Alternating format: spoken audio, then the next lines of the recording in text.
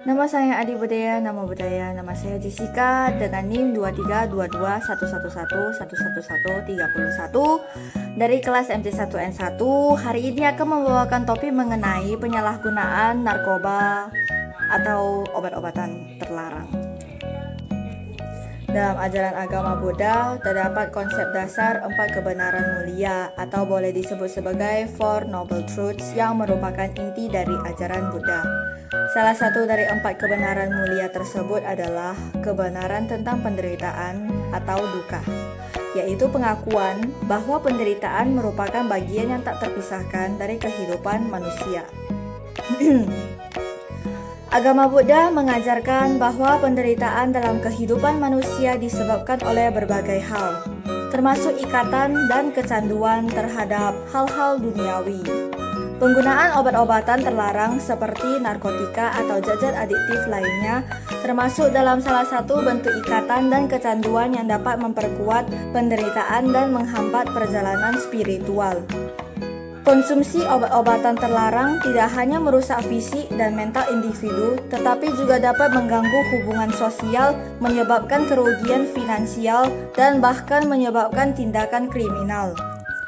Dalam agama Buddha terdapat konsep Pancasila yaitu lima prinsip etika dasar yang harus diikuti oleh para penganutnya.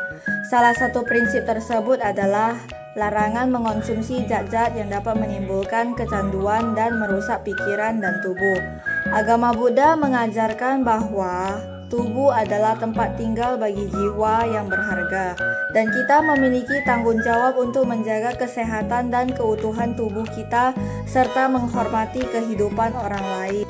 Selain itu, agama Buddha mengajarkan pentingnya menjaga kesadaran dan kebijaksanaan dalam kehidupan sehari-hari. Obat-obatan terlarang dapat mengganggu kesadaran dan mengaburkan pemikiran, mengakibatkan individu kehilangan kewaspadaan terhadap konsekuensi tindakan mereka dan kehilangan kebijaksanaan dalam mengambil keputusan yang baik. Dalam praktik spiritual Buddha, penting untuk memiliki pikiran yang jernih dan bijaksana untuk dapat memahami dan mengatasi penderitaan dengan cara yang sehat dan konstruktif. Agama Buddha juga mengajarkan nilai-nilai kasih sayang, belas kasihan, dan kebaikan terhadap semua makhluk. Pengedaran obat-obatan terlarang dapat menyebabkan penderitaan dan kerusakan bagi individu, keluarga, dan masyarakat secara luas. Hal ini bertentangan dengan ajaran Buddha yang mengajarkan pentingnya meminimalkan penderitaan dan berusaha mengembangkan sikap empati dan kepedulian terhadap orang lain.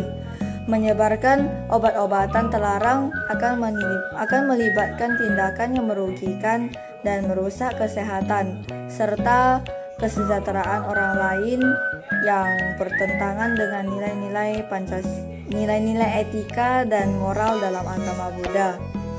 Sebagai mahasiswa, kita memiliki peran penting dalam mempromosikan nilai-nilai moral dan etika yang sejalan dengan ajaran agama Buddha maupun ajaran agama lainnya.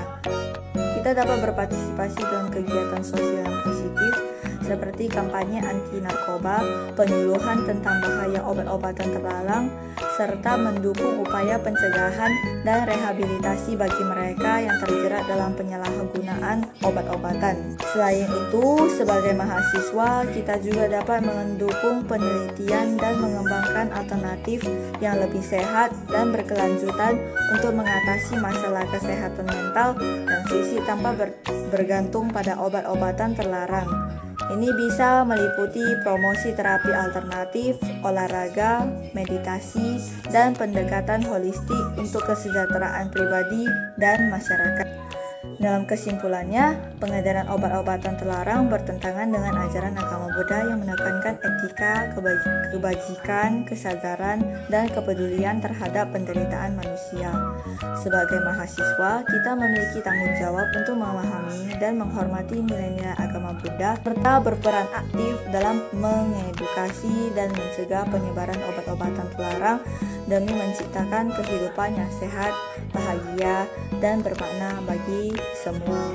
Kita dapat mengambil langkah-langkah proaktif untuk mendukung upaya pencegahan penyalahgunaan obat-obatan, mempromosikan kesadaran akan bahayanya, dan memberikan dukungan kepada mereka yang membutuhkan rehabilitasi dan pemulihan. Selain itu, penting bagi kita untuk terus belajar dan memahami lebih dalam konsep-konsep ajaran agama Buddha, termasuk mengenai penderitaan, kebijaksanaan, dan etika.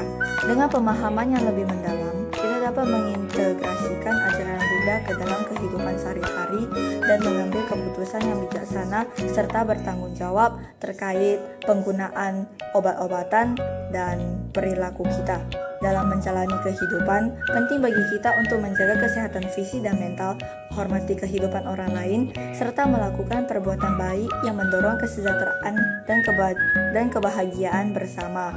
Dengan demikian, kita dapat mengembangkan diri secara holistik dan berkontribusi positif terhadap masyarakat dan dunia di sekitar kita.